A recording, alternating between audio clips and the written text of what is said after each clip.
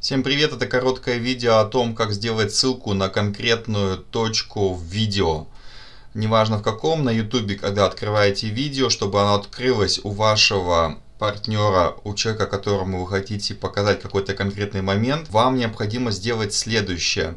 Нажимаете на кнопку под видео «Поделиться», и здесь есть вот этот чекбокс э, «Начало», и указывается время, когда начинается необходимый вам фрагмент.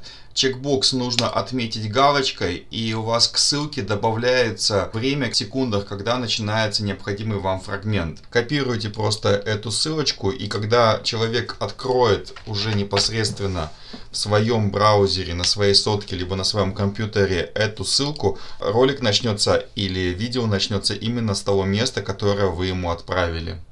Все, спасибо за внимание, всем всего хорошего.